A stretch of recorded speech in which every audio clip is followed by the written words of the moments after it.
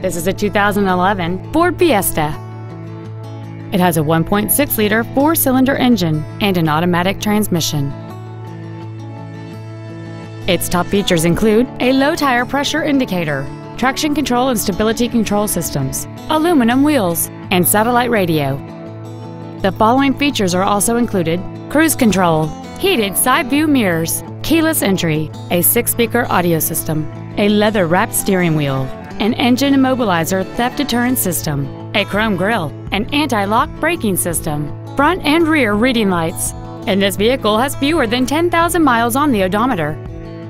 With an EPA estimated rating of 37 miles per gallon on the highway, this vehicle does not compromise its fuel efficiency for size, comfort, or fun. Contact us today and schedule your opportunity to see this vehicle in person.